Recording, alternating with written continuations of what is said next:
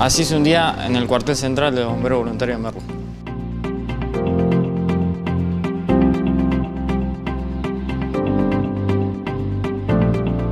Un día en el cuartel central, en mi caso, yo habitualmente estoy de cuartelero, eh, uno llega, se cambia, se uniforma, eh, bueno, en mi caso pongo las banderas, hago prueba de equipo, eh, demás, de todas las unidades y lo que es la radio base que está acá atrás.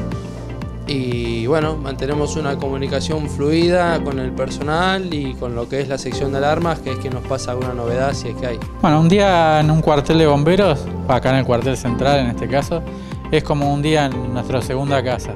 O sea, tenemos tareas que hacer, al igual que en la casa, hay que limpiar, hay que ordenar. Eh, si nos quedamos un par de horas tenemos que cocinar y después, bueno, por ahí se rompe la rutina cuando tenemos algún llamado de emergencia. Cuando suena la alarma, el personal se cambia, espera que les diga el ok para subir arriba del camión. Nosotros apenas llegamos, vamos, nos cambiamos, revisamos materiales, ¿sí? para saber si hay, hubo algún cambio en los camiones de los materiales. Eh, hacemos órdenes de trabajo, si es que tenemos en nuestra área.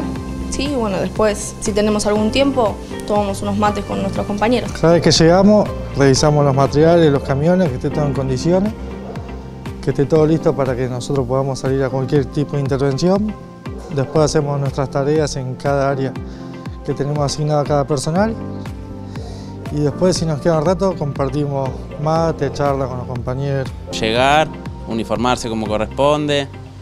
Una vez finalizado, revisamos los camiones y cada uno tiene un área específica. Yo, por ejemplo, estoy en el área de materiales.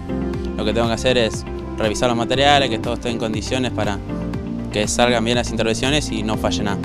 Yo trabajo, tengo un par de trabajos y cuando puedo vengo al cuartel trato de venir porque así puedo cumplir horas. Bueno, esta es la habitación masculina, acá es donde el personal de guardia duerme a partir de las 11 ya podemos ingresar hasta las 8 de la mañana el otro día. Está bueno, es como una unión, una hermandad que hay entre, entre la gente cuando se come, la charla. Se pretende generar la mayor comodidad posible para el personal que viene voluntariamente a cumplir sus funciones y dentro de esa comodidad está el horario de descanso, el horario de almuerzo, de desayuno. También tenemos un horario de práctica, una charla un poco más distendida donde también tocamos temas netamente bomberiles, cuestiones más académicas del mundo de bomberos. La piedra fundacional de la institución y es un lugar de quizás de formación necesaria para poder brindar un buen servicio a la sociedad.